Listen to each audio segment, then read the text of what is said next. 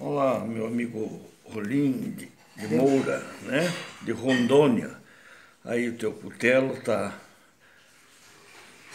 tá, tá sendo empacotado para mandar hoje para você, tá?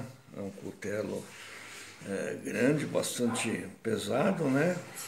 Cabo de embuia goiabão, uma guarda de metal, né? De cobre, de latão.